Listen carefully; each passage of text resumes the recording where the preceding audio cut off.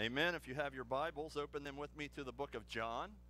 We're continuing our series, Journey Through or Journey with John.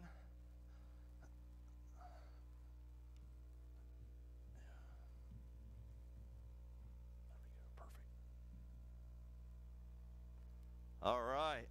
So uh, we've noted we've noted that the uh, over the last few weeks, hopefully everybody knows what the purpose of the book of John is. And now, remind you again, or if you're just joining us for the first time in this series, the purpose for the book of John is found in John chapter 20, verse 31. And John, there, the, the uh, disciple John, says, I write these things, or but these things have been written so that you may believe that Jesus is the Christ, the Son of the God, and that by believing you may have life in his name. Now, the last few weeks we've been in the in the prologue, if you will, of the book of John. We've we've heard the disciple John laying out his arguments and, and the testimony and, and some of the witnesses that would be coming uh, forth to take the stand. Uh, but today, uh, the, the, the uh, opening arguments, if you will, have come to a close. And now we're getting ready to call our first witness to the stand. You wondered why we brought this chair up here, didn't you? So, if I, if I, so if I get tired, you know, I can just sit down and preach. No, that's not it. But we're going to call our first witness to the stand. And our first witness we're going to find here in John chapter 1, verse 19, and that is John the Baptist.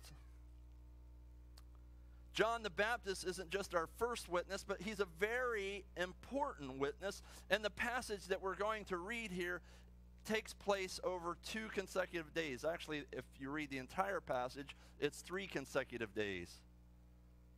But we're going to look this morning at two consecutive days, and we're going to examine this witness, John the Baptist, or as we would know him in Hebrew, Yohanan uh, Bar Zechariah, or perhaps John, Yohanan the, the immerser. And uh, he came doing something very interesting, and that is baptizing people. Now, John the Baptist, Baptist mother, Elizabeth, was Jesus' mother, Mary. It was her cousin.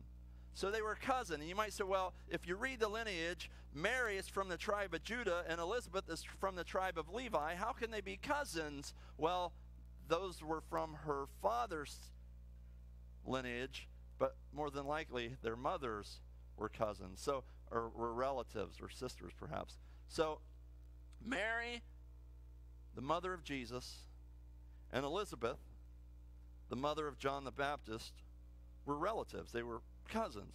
And uh, Mary, again, was from the tribe of Judah. Kind of interesting. Where does the king of Israel come through? The tribe of Judah. And John the Baptist's mother, Elizabeth, and his father both were from the Le- tribe of Levi. Now, what comes from the tribe of Levi? The priest. So we have the Judah tribe of Judah represented here. We have the tribe of Levi represented here, uh, and they were cousins. They were relatives. And uh, Zacharias, John's father, was a priest, and his mother Elizabeth was barren. In other words, she couldn't have pro- she couldn't have children. She was barren, and her and and Zachariah was a priest. And we read about how his birth came about in Luke chapter 1, verses 8 through 17. I want to read that to you this morning. Now, it happened while he, Zechariah, he was a priest, was performing his priestly service before God in the appointed order of his division, according to the order of his pri- priestly office. He was chosen by Lot to enter the temple of the Lord and burn incense. And the whole multitude of the people were in prayer outside at the hour of the incense offering. And an angel of the Lord appeared to him, standing right to the right of the altar of incense. So here, picture the priest Zechariah in the holy place, burning the uh, uh, burning the offering of the altar of incense, and all of a sudden, an angel appears. Now, what happens in, to people in the Bible when an angel appears? Yeah, I saw some of the looks on your face. Yeah, they get scared. And it's interesting that he was standing to the right of the incense altar. To the right always indicates a, a position of honor or a blessing or privilege. And he says this Zacharias was troubled as he saw the angel, and fear gripped him. But the angel said to him, Do not be afraid. Sounds familiar, doesn't it? Do not be afraid, Zacharias, for your petition has been heard, and your wife Elizabeth will bear you a son. Why is that important? Because in this time, family is everything. Today, in our day and age, family means very little, does it? There's not very much, uh, it doesn't, it's not important if you have children. Here in this day and age, when the Bible was written, if you didn't have children, then you must have done something wrong. God must be upset with you. There must be some kind of sin or something. It, it, was looked down upon you if you didn't have children. You were like less of a woman or less of a person uh, if you did not have children. And family was everything. And we, we, we, we learn this because when you read the New Testament scriptures, you see this whole long list of lineage. Now, how many people know back more than two generations in their family? Raise your hand. So that would be your great that'd be your great grandfather, right? Okay, well, let's see. No. Your father. How many people obviously everybody here knows their father, right? How many people here know their grandfather? How many people here know their great grandfather? How many people here know their great great grandfather? Raise your if you know your great great grandfather. You know his name. How many people here know their great great great grandfather? Okay, the hand numbers are dwindling.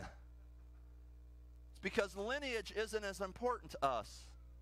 Now, it's becoming more important, but I think it's more of a novelty. How many people here have done one of them DNA tests? The test, yeah, a few of you. Yeah, I, I, have done that.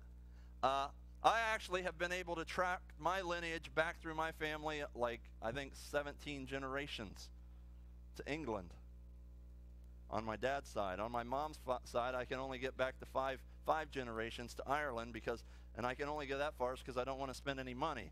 I'm too cheap to find out how my my family lineage, but uh, I, I, did what I could do for free, right? You know, but. Uh, lineage and family meant everything, and having a child was incredibly important. And here the angel says, Your, your plea has been heard. Your wife Elizabeth will bear you a son, and you will give him the name John. Now, when the baby's born and he's taken to be circumcised, we know what happens there. When John the Baptist is being circumcised, everybody says, You need to name him after your father. And, mother, mom says, No, we, we're going to name him John. The angel said John. They're like, Yeah, we know. An angel told you to name him John. That's cute. But you should name him after your fa- his father. And then all of a sudden, Zacharias, he got his voice back. He said his name's going to be John. That's what God said to name him. So they name him John. And, and, and in verse 14 in Luke 1, it says, You will have joy and gladness, and many will rejoice at his birth. For he will be great in the sight of the Lord. He will drink no wine or liquor and he will be filled with the Holy Spirit while yet in his mother's womb. So now, Jewish people knew what that meant when he would drink no wine or liquor. That means that he's going to take a Nazarite vow. Not only will he not drink wine or liquor, but he's not going to shave his head or his beard. Now, we know of one other famous person in the Bible who took that vow, right? His name was Samson. Little interesting tidbit about Samson Samson's mother was also barren. We'll talk about that in just a second. But he will take this Nazarite vow, and the Holy Spirit will be a, will be will fill him while he's in his mother's womb. First time in the history of any prophet that that happened that I know of. And he will turn many of the sons of Israel back to the Lord their God. It is he who, as a forerunner for, before him in the spirit and power of Elijah, to turn the hearts of the fathers back to the children and the disobedient to the attitude of the righteous, so as to make ready a people prepared for the Lord. So we see here that John's birth was a miraculous birth, and John's birth was actually the seventh miraculous birth to take place in the Old Testament. Now, there was seven barren women in the Old Testament who had given birth in their old age when they could not have children, when they shouldn't have children, and God stepped in and, and, and they were able to have children. The first one we know is Sarah, Abraham's wife. And Sarah had Isaac. We know Isaac was a type of Christ. You know, he carried his wood for his own sacrifice. He was the sacrifice up the hill. Christ carried his cross as a sacrifice. So Isaac was like a type, if you will, of Jesus Christ. The second person who was barren was Rebekah. That was Isaac's wife. That's in Genesis 25, 21. And, and she prayed and they prayed, and guess what? They had twins. You know, uh, I thought when Tina, when, when, we were, when we decided to have children, I thought, you know, hopefully God will just give us twins and we'll have it, we'll be one and done, you know. Because when we first got married, I didn't plan on having children. I thought maybe one. And my brother had four. And Tina and I were married. We were actually married about eight years before we even had any children. And we would go down to my brother who lives in Virginia. We'd go down to his house, and they would be getting their kids ready to go, you know, somewhere, and we'd be sitting there and we'd be waiting and waiting and waiting. And I specifically remember sitting on their couch think, thinking, why would anyone have four kids? Well, after we had one, I was thankful that God didn't give me twins. That's a lot of work. Some of you who have a baby or a toddler right now know what I'm talking about. Can I get an amen? Uh, some of you who work in the nursery, you know what I'm talking about. It's a lot of work. But Rebecca had twins. And Rachel was the third one. That was one of, uh, that was Jacob's wife and and sh- they had all the children that made up the 12 tribes of Israel. And then the fourth one, we don't we weren't given her name. It's just known as she's mo- known as Manoah's nameless wife. Maybe we should call her Miss Monona, Mrs. Monona. But that's Samson's mother. And even Samson kind of points to Christ because he was betrayed by his own people, tied up, handed over the, to the Philistines. He broke the bonds. Christ broke the bonds. He stretched out his arms and he de- died defeating the enemies of Israel and destroying false religion. See how, how that looks like Christ? The fifth barren woman in the, New, the Old Testament was Samuel's mother, Hannah. She had Samuel and he was a prophet, a judge, and a priest. Christ is a prophet, a judge, and a priest. The sixth one, now this one's a little more obscure. This is the Shunammite woman, or the Shunammite woman, rather. Uh, she was a prominent woman that Elijah went and stayed at her house, and she was barren, and he had her servant say, Look, she's a great, this is a great family, you know, they're hosting me here. What? She doesn't have any kids. And in their old age, God miraculously intervened, and she had a son, and we, weren't, we don't, weren't even told his name. But how is he even like Christ? Well, he was out in the field, and guess what? He died. He went out, and I think he was complaining about his head, if I remember right, and he fell over dead, and they carried him back, and she carried him in and laid him on Elijah's bed, and he was later raised back to life. And then we get to the seventh one. It's interesting how many there are, right? Seven. Seven.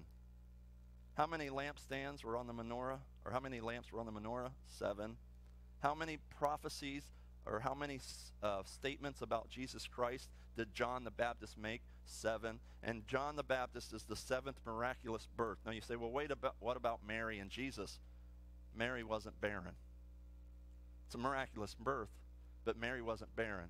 And here we see the last Old Testament prophet who's filled with the Holy Spirit, not later in life, but before he's ever born. That's why we should celebrate the sanctity of human life. It starts in the womb. God recognized him as a person before he ever before Elizabeth ever gave birth.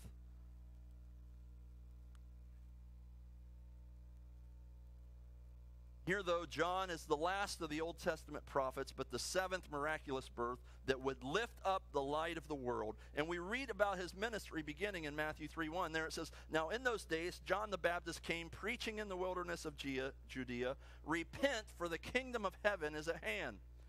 For this is the one referred to by Isaiah the prophet when he said, The voice of one crying in the wilderness, Make ready the way of the Lord, make his path straight. Jewish people knew what this meant because back in those days, when a king was traveling somewhere, he had a little excavation crew, if you will, that would go out in front of him and try to level out the road, make the path as smooth as possible, so that when he left point A to go to point B, he would have a pleasant ride. Well, here he's saying, Look, we're, need, we're going to, I'm here to level out the road, but the, the road that's bumpy, the road that's curvy, the road that's, that's all out of whack is the road that's in our heart.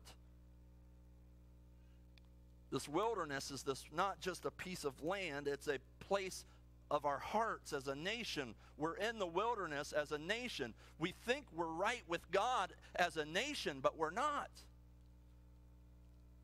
Make ready the way of the Lord, make his, his path straight. Now, John himself had a garment of camel's hair and a leather belt around his waist. And his food was locust and wild honey. So picture John sitting here before you today wearing a robe of camel hair, a leather belt around his waist. He's got this really huge beard, long hair, and in his beard we find uh, grasshoppers and locusts, and, and he's got pure sugar honey flowing through his veins. Can you imagine how excited of a preacher he would be to listen to? And it said, then Jerusalem was going out, all of it says in Jerusalem, it says, I mean, it names the whole city, and all of Judea, all the districts around the Jordan, and they were going out and were being baptized by him in the Jordan River as they confessed their sins. So he began his ministry in the wilderness, but he had no political power, no political influence. He wasn't a great military leader, and he was kind of totally detached from his culture and from a society. And imagine when people looked at him, they thought, this guy's weird. I heard one preacher say he was hip long before hippies and hipsters. I mean, he was he was the trending topic. You know, he was what was going on. Everybody was hearing about Johanan the immerser. Johanan, yes, say what the eh, the immerser. John the Baptist. He's out there dunking people in the water, and and and the word of that spread, and people, it says Jerusalem came out, and all of Judea. I mean, he's gathering a crowd, and all these people are coming, but he had a very powerful message, and that powerful message is repent. You hear that word a lot used in the church. And oftentimes, when we as Christians think of that, we think that's something that the lost should do. You know, we, we, we, we know that we repentance like we're walking away from God. And in order for us to repent, what must we do? We must turn around and start walking back toward God. But repentance is, is, is a little more than that. It's like a change of mind, it's a change of heart. He told him, Look, you need to repent. You thought you were on good terms with God, but you're not. Well, I, I think that can happen to us in the church today in our lives today. We can just go along for a long time thinking we're on good terms with God, but there's something wrong. There's something going on in us. He told him what it was. He said, It's sin. Sin has you blinded. The Bible tells us, work out our own salvation with fear and trembling. Doesn't say work for it, it says work out. We got to make sure that we're saved. But not only that, we as believers need to make sure there's no sin in our life. We need to make sure, he said, look, prepare your hearts. Get ready to make the way straight. Prepare your hearts. Be ready for what God's about to do. God's going to do something great. He's going to send the Messiah, and he's out there and he's he's preaching this message, and many people's listening. He's saying, repent, confess your sins, and prove that you're going to, to really, that this is really going to get stick by being baptized, by being immersed. Come and be baptized. See, baptism is a method of identification here for him. He's saying, look, you want to identify yourself as someone who's repenting, who's ready to, to accept the coming Messiah, then come and be baptized. And that's where we pick up today in Luke, or in John chapter 1, verse 19. The title of my message is Play Your Part. We're going to look at how John played his part. today. In verse 19, it says this This is the testimony of John. So now you notice we've went from the, the, uh, the Apostle John talking about the, the, the, in the prologue about how Jesus is the Word and how He's God, and He's laying out this. He laid out this great, deep theological argument. Now we're getting to the witness. So on our stand here today is John the Baptist, and he says there. This is the testimony of John when the Jews sent to him priests and Levites from Jerusalem to ask him, Who are you? And he confessed and did not deny, but confessed, I am not the Christ. They asked him, What then? Are you Elijah? And he said, I am not. Are you the prophet? He's referring to, so they're referring to these Old Testament prophecies. Elijah was supposed to come back. Uh, there's, a, there's a Testament prophecy about the prophet, a prophet coming back. He says, and he answered, No. Then they said to him, Who are you? so that we may give an answer to those who sent us. What do you say about yourself? This is what he said. He said, I am the voice of one crying in the wilderness, make straight the way of the Lord, as Isaiah the prophet said. Now they had been sent from the Pharisees, and they asked him and said to him, Why then are you baptizing if you are not the Christ, nor Elijah, nor the prophet? John answered them and said, I baptize in water, but among you stands one whom you do not know. It is he who comes after me, the thongs of whose sandals I am not worthy to untie. These things took place in Bethany beyond the Jordan where John was baptizing. Now, this is not Bethany that's over by Jerusalem, it's a different Bethany. I think uh, some translations call it Bethpage. The next day, Here's the second day. I told you this was a two day occurrence. The next day, he saw Jesus coming to him and said, Behold, the Lamb of God who takes away the sins of the world, the sin of the world. This is he on behalf of whom I said, After me comes a man who has a higher rank than I, for he existed before me. That's an important line right there. He existed before me. John the Baptist was born six months before Jesus. Now, how did Jesus exist before John the Baptist? Hopefully, you've been paying attention the last few weeks. It's because he is eternal, he is the Word, he is God. John the Baptist, right here, under oath, in the witness stand, testifies that Jesus is God. He existed before me. I did not recognize him, but so that he might be manifested to Israel, I came baptizing in water. John testified, saying, I have seen the Spirit descending as a dove out of heaven. Remember when Jesus was baptized? Jesus, John the Baptist baptized Jesus. The, the, the, the Holy Spirit descended out of heaven like a dove. And God the Father from heaven spoke, This is my beloved Son, in whom I'm well pleased. Okay? So we see there in that instance the Trinity.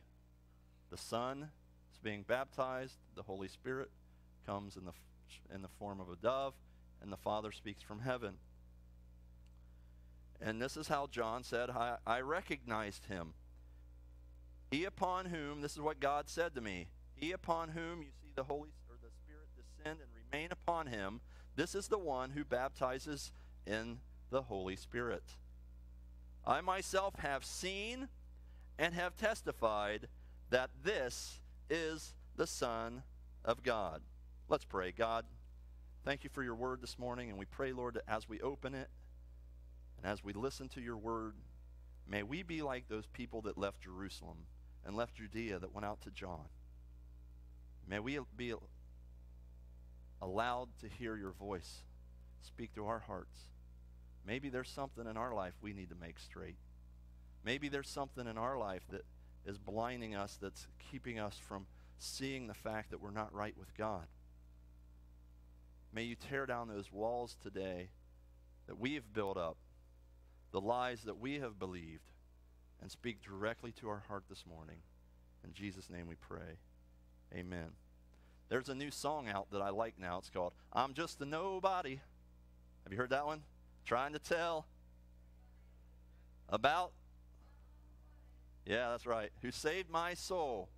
Well, you see, that's what John the Baptist was. And that's what that's what I want to look at today is the first thing I want to look at to see how John testifies here is John's downplay. Look at what it says back there in verse 19. This is a testimony of John. When the Jews, if you look at that word, the Jews, that, that term is used 70 times in the book of John, and it's never a positive thing. When he's talking about the Jews, he's talking about the enemies of Jesus Christ. He says, When the Jews sent to him priests and Levites from Jerusalem to ask him, Who are you? He said, Well, let me tell you who I'm not. I am not the Christ. Then they said, Well, what then?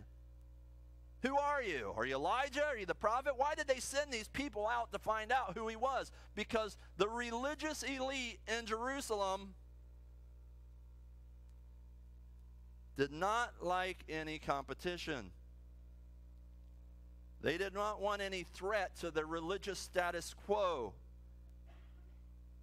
And they were coming out to find out who this was. Now, there was a lot in play. You know, they were under Roman rule, and if somebody starts bringing an uprising, you know, they, that, that could threaten their religious status. But you had all of these religious people in Jerusalem, these Pharisees, these Sadducees, uh, these priests, and they, they, you know, they were in their, they, they were living the cream of the crop life. They had this great religious system that seemed to be working for them, but yet it wasn't. It was a great big fraud. And here they were, and they didn't like anybody that was going to disrupt the system. So they sent out these Levites, and they asked him, "Who are you?" He confessed, and he says, and he did not deny, but confessed, I am not the Christ. Well, then are you Elijah? Why? Because they expect Elijah to come back. And he said, I am not. Are you the prophet? And he said, No. Then they're like, Well, who are you?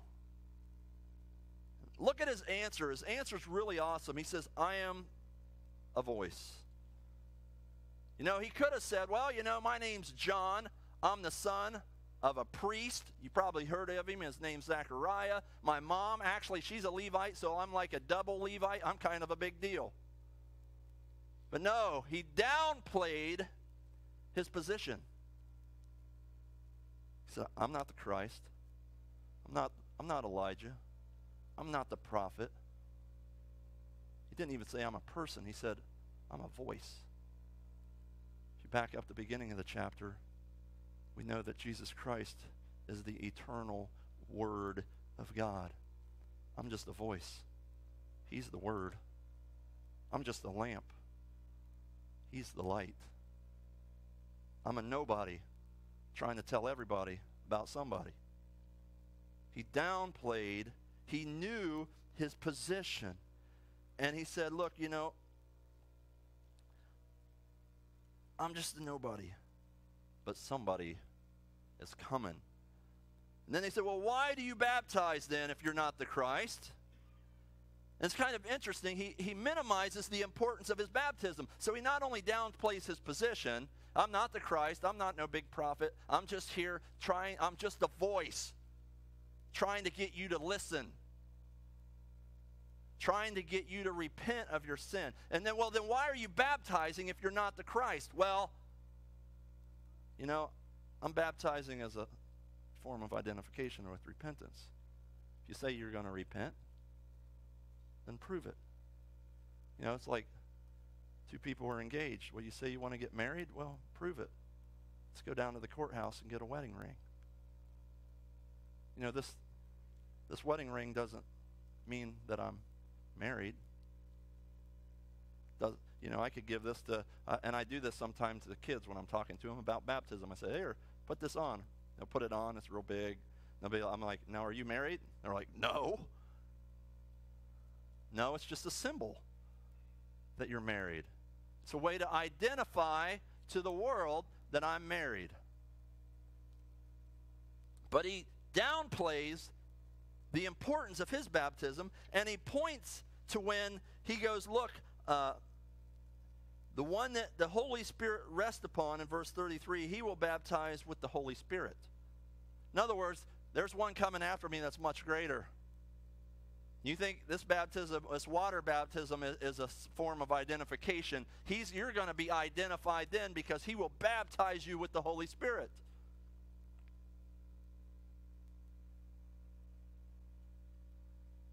He downplayed his position. And if you look back in verse in verse uh, uh, 22, he said, "Well, who are you?" So that we can give an answer. In other words, it's not enough just to say who you're not. We got to have something to tell them. You know, we got to have something to give the the the bosses back in town. He said, "Look, I'm nothing. I'm just a nobody." And then he goes on in verse 24 is, Now they've been sent from the Pharisees. They asked him and said to him, Why then are you baptizing? If you're not the Christ, nor Elijah, nor the prophet, John answered, said, I baptize with you with water, but there's one who stands among you who you do not know. It is he who comes after me. And then look at what he says the thong of whose sandal I am not worthy to untie. Now, we wear shoes today, and we we have sidewalks and we have paved roads, but back then they didn't have that.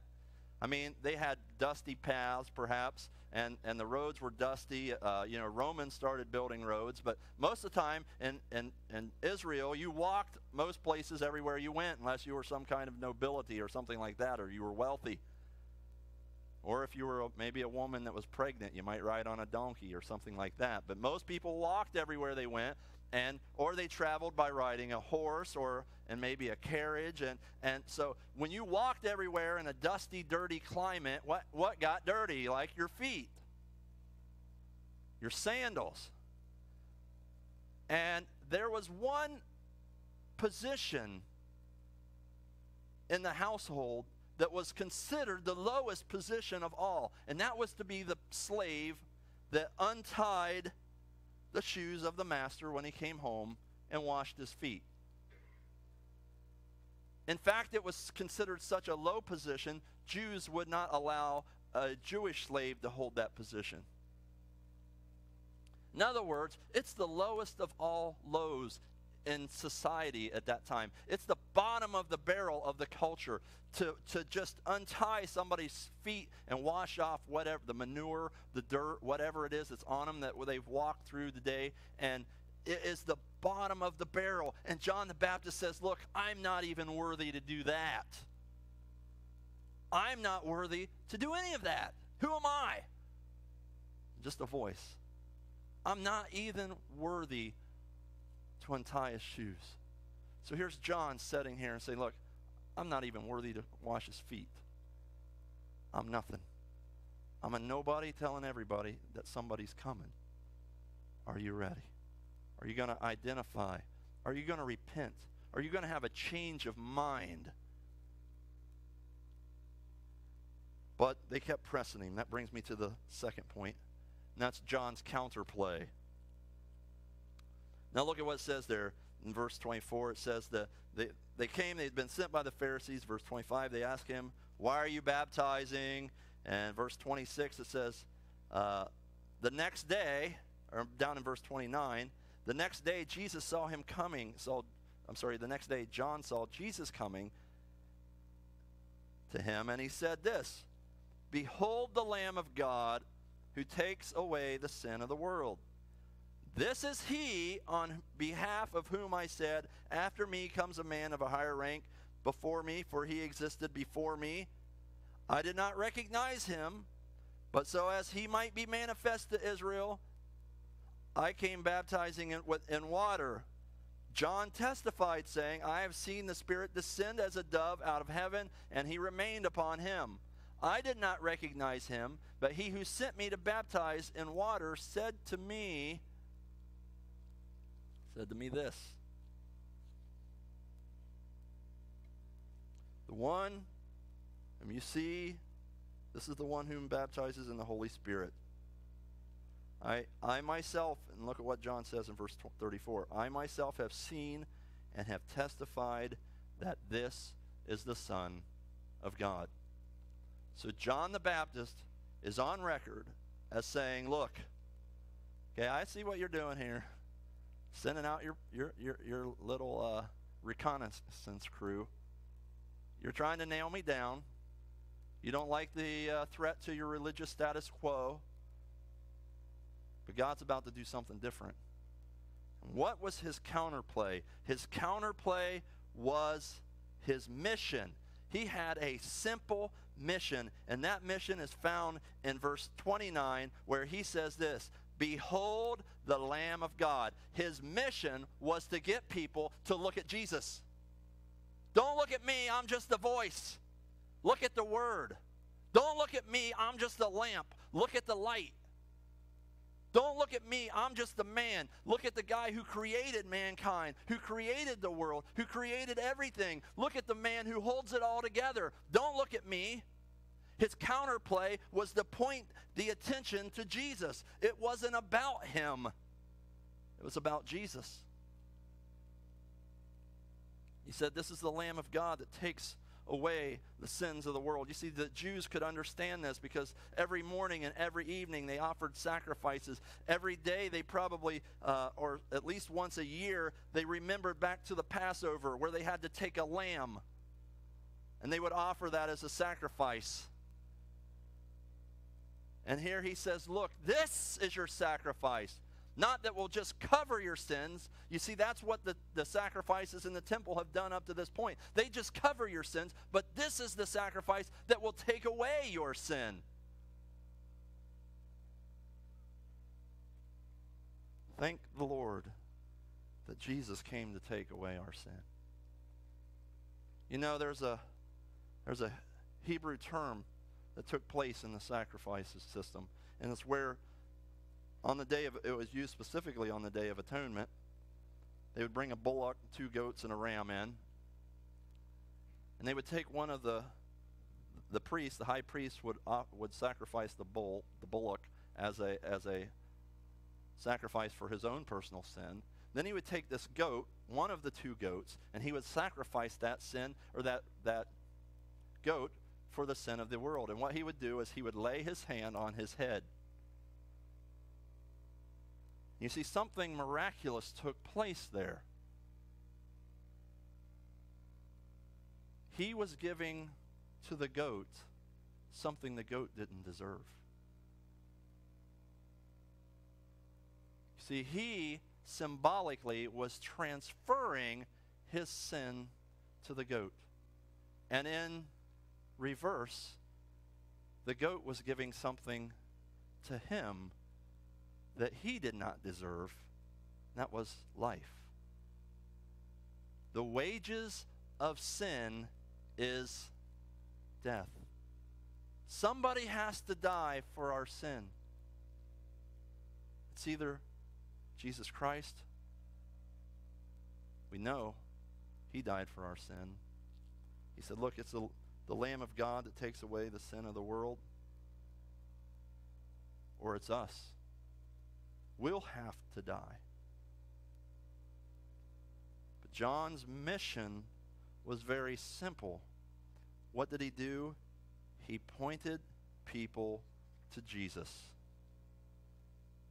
God, in verse 33, says, I did not know him, but he who sent me to baptize, who is that talking about there? God.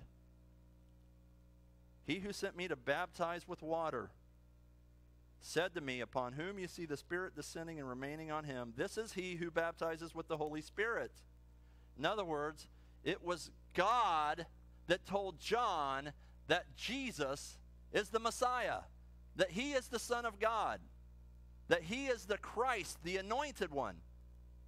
And now John stands before us this morning as a witness in this great courtroom of, of, of belief of faith and he's saying look if you really you really need to listen to what i'm saying i know that he is the Christ, that he is the Messiah, that he is the Son of God because God told me. And if we know that he is the Christ, the Messiah, the Son of God, it's because God has told us. Jesus said to Peter when he said, Who do you say that I am? And Peter responded, He said, Well, flesh and blood didn't reveal this to you, my Father revealed it to you. You got people to look at Jesus. And finally, look at the very last part of that verse. Uh, look at the verse 34. And I have seen and testified that this is the Son of God. You see, we must identify him as dying for our sins. Jesus can't be a Savior, he can't just be the Savior. He has to be our Savior. His sacrifice will only be applied on your behalf if you by faith accept it. In Matthew 11 11, Jesus tells us something about John the Baptist. I think this is a fitting way to close our message. He says this John the Baptist is the greatest man, man ever born to a woman. Now, I've won a few awards in my day.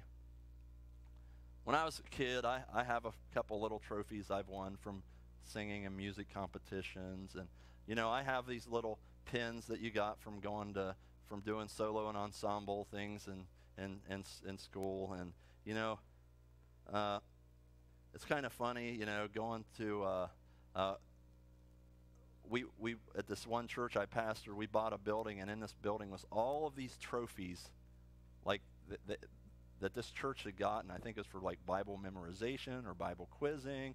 And this church was uh, the church that was there before us. At one time, time they, you know, they, they had all these trophies in their closet.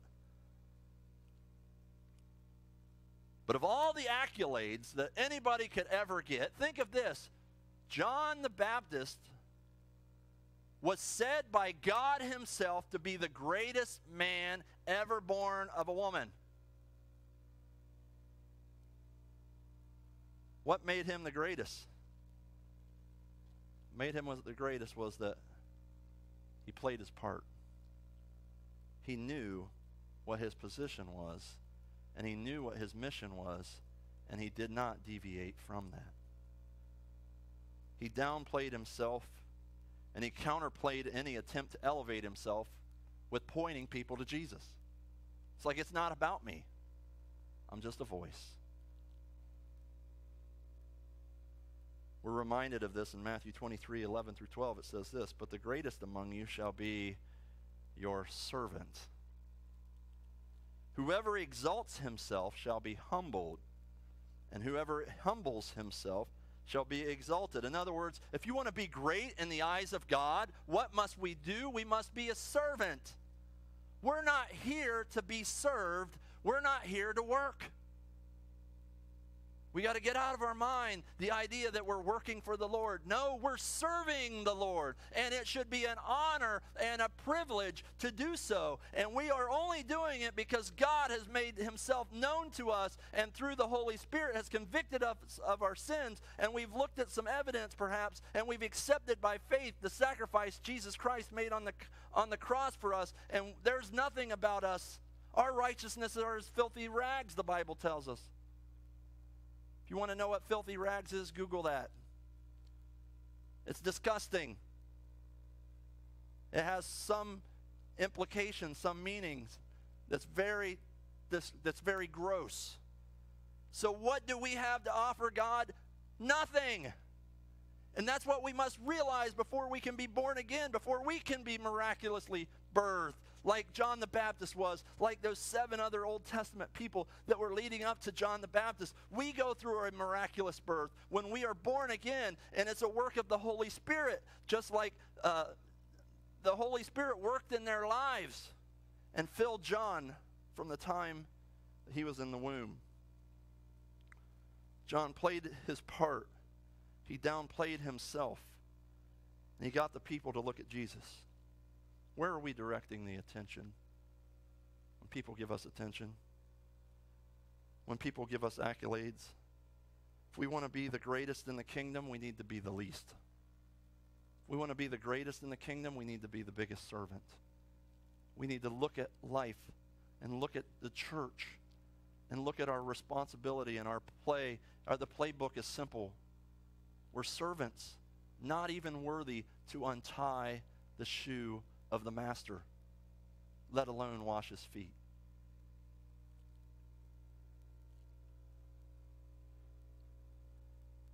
He pointed people to Christ. He baptized with water. And he said, One is coming that will baptize with the Holy Spirit. The method of identification is going to change. Yes, you know, we still baptize with water. But being baptized with water is not the same as being baptized with the Holy Spirit. If you're baptized with water and there's been no change on the inside, you just come up a wet sinner. Are we playing our parts? Are we humbling ourselves as servants? Have we downplayed ourselves or are we overplaying ourselves? See, we begin thinking that the church is somehow about us, and the church has become consumers when we are here to be servants. I shared this online a while back, and it, it was written by Thomas Rainer, Thom Rainer, Thom S. Rainer. Thom Rainer was the former uh, president and CEO of uh, Lifeway Christian Ministries, the stores, the, uh, all of that. Uh, and Lifeway still is around, even though the stores or the brick and mortar stores aren't. They're still around. They still have their research facility, and they, they still you can still buy stuff. It's just all online. But Thom Rainer, he wrote this uh, on February 17th out of 2020. It's called Seven Differences Between Your Church and a Cafeteria. He said, I have some pretty clear memories of my first visit to a cafeteria. I was five years old, and my parents wanted our family to experience a Morrison's cafeteria in Montgomery, Alabama. Now, there's some cafeterias around here. Uh, most of the ones I, I remember, they were more like a buffet. It was amazing. I saw untold number of dishes of meats and vegetables and salads and fruits, of course, desserts. I'd never seen anything like it. Mom and Dad had already given my brother and me strict instructions on how much we could choose. But for a small town kid who had never seen such a feast, I was amazed. The concept was basic. If you paid your money, you could choose whatever you wanted. Your preferences were paramount. It was all about you. He goes on to say, sounds like a few churches we know. Though we don't have the numbers of cafeterias we once had, the lessons are instructive. Simply stated, your church is not a cafeteria. Here are seven differences. In a cafeteria, you pay for your preferences. In a church, you should give abundantly and joyfully without expecting anything in return. If you ever hear someone say, We pay the bills in this church, you know they act like the church is a cafeteria. In a cafeteria, the focus is on you. In a church, the focus should be on God first and then others. If you ever hear someone say, I'm not getting fed in this church? You know they're acting like it's a cafeteria. In a cafeteria, you demand to have things your way. In a church, you should sacrifice your own needs for others. If you've ever heard someone say, I want the order of service to be like it has always been, or you know that they're acting like it's a cafeteria. In a cafeteria, the business must continue to make things more appealing and attractive for you to return. In a church, you should not expect to be entertained to get you to come back. If you ever hear someone say, I'm going to a church where the music is more exciting, you know they're acting like it's a cafeteria. In a cafeteria, if the customer does not get his or her way, the business must make every effort to address and remedy his or her complaint. In a church, we should be so busy doing for others and serving Christ that we don't have a desire to whine or complain. If you ever hear someone say, people are saying, you know that they act like the church is a cafeteria. In the cafeteria, you have a full staff serving you behind the glass partitions, indulging your every desire. In a church, you should not expect the staff to do all or the most work of the ministry or service. Instead, the members are to do the work of the ministry. You ever hear someone saying, Pastor, you should? You know, they act like the church is a cafeteria. I didn't write this. Don't kill the messenger. And in a cafeteria, you will likely complain to others in, in person or on social media if you're not fully satisfied. In a church, you should not have a gossiping or complaining spirit. Instead, you should be building others up. If you ever see someone complain about your church on social media, you know they're acting like it's a cafeteria. Cafeterias was fun, he said, as, as, as I was a kid, but Morrison went out of business. And the pieces of that cafeteria was picked up by the Piccadilly cafeterias. But in 2012, Piccadilly cafeterias declared bankruptcy. The big cafeteria chains have not fared well, and neither will churches if they keep acting like cafeterias. You see, it's not just all about us. In fact, it's not about us. We're not even worthy to untie his shoe. We got to get that in our minds, people. It has nothing to do with us, it's all for the glory of God. We are only here for the glory of God. We are only here to lift up and magnify the name of Jesus, to point other people to Jesus, to bring other people to come to know Jesus as their, as their Lord and Savior, and be like John, who's saying these things are written so that you may believe. This is what our life must be about. We must downplay our life, we must downplay ourselves. Uh, I think it was C.S. Lewis that said this about self esteem self esteem isn't thinking less about yourself, it's thinking about yourself less. Sorry, not self esteem. Humility. Humility is not thinking less about yourself, it's thinking about yourself less. Are we putting others ahead of us? Are we putting Christ ahead of our own desires? The church is not here to meet our needs. The church is here to point people to Jesus. You see, we're just a voice. That's all we are. It's what we have to offer people Jesus Christ. He's the Lamb of God, takes away the sins of the world. I can't fix your problems. The deacons can't fix your problems. No psychologist can fix your problems. See, all our problems are the result of sin in our life. And the only thing that will fix that problem is if we put our faith and trust in Jesus Christ and He will take away that sin. He will break those chains that bind us. He will set us free. He will make us something that we could never be on our own. He'll pick up the broken pieces of our life, put us back together, and then guess what we can do? We can tell others how great He is for all that He's done in our life. We're just a voice. He's the Word. We're just the lamp. He's the light. See, John asks answers a tremendous question. John the Baptist here, who is Jesus? He is God the Son who's come to take away the sin of the world. See, there's three ways to deal with sin. This world has two. The first one is religion. In other words, I'm going to do more, try harder, be better, keep rules, keep regulations. And then, the end of my life, Hopefully, my good deeds will outweigh my bad deeds, and that'll be enough to get me into nirvana, eternal life, heaven, whatever you, they want to call it. It's all the same. All religions are the same. Intimate, in the end, they're man inventing ways to reach God. But that doesn't work. You see, that's what the Jews had. That's what the Jews had. And Jesus, you know what Jesus called them? Hypocrites. You're, you're like whitewashed tombs. On the inside of you, you're full of dead man's bones. It didn't work. It never works. The Bible says all fall short of the glory of God. All have sinned and fall short of the glory of God. You see, one, one sin, being born a sinner, automatically separates you from God.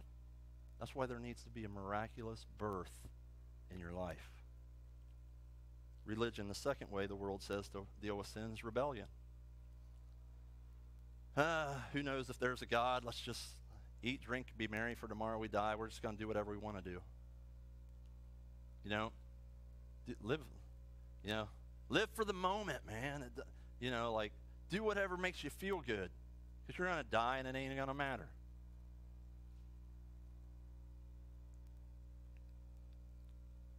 Or there's the third way that's God's way. That's redemption.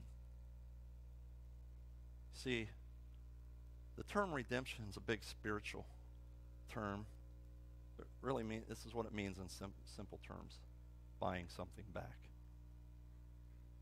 Buying something. When you redeem something, you buy it back. Jesus Christ came and died on the cross for you to buy you back. He paid the price. The wages of sin is death.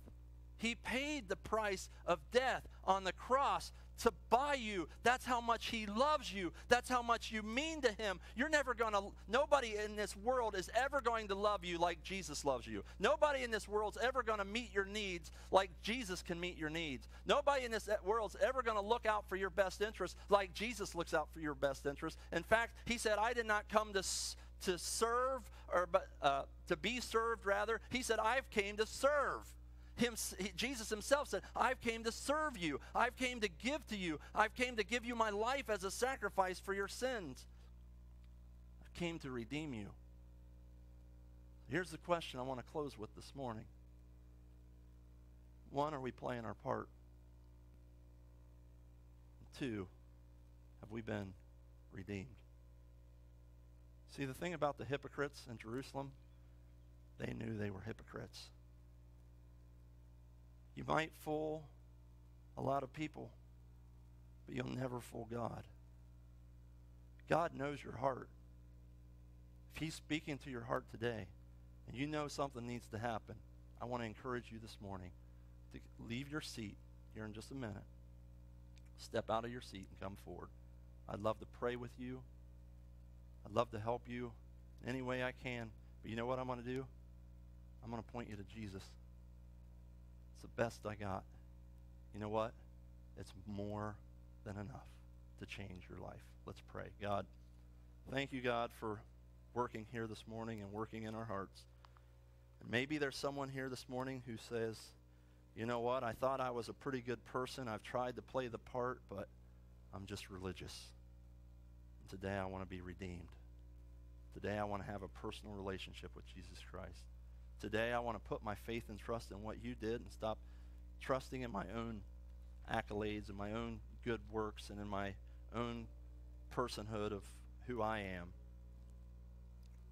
And maybe we're here today and we've overplayed ourselves in the family of God and we're trying to get attention and maybe we need to change our minds about that and just Say, look, it's not about me. It's about you, Jesus. God, I stand here before you today, nothing. I'm not fit to untie your sandals. I'm just a man that you so graciously one day spoke to my heart and said, You need to be born again. And I accepted the great, greatest gift I ever could and put my faith and trust in you. And God, I pray, Lord, for this church and for every ministry from the top down that we will not bring attention to ourselves, but that we will bring attention to the person of Jesus Christ because it's not about a religion, it's not about rebellion, it's about a relationship with that person, Jesus Christ, the Son of God, the Lamb of God who came to take away the sin of the world. Thank you, Jesus, for coming and dying on my behalf. And I pray, Lord, that if there's someone here that hasn't accepted that this morning, that they would step out on faith and trust you. In Jesus' name we pray. Amen. Let's stand.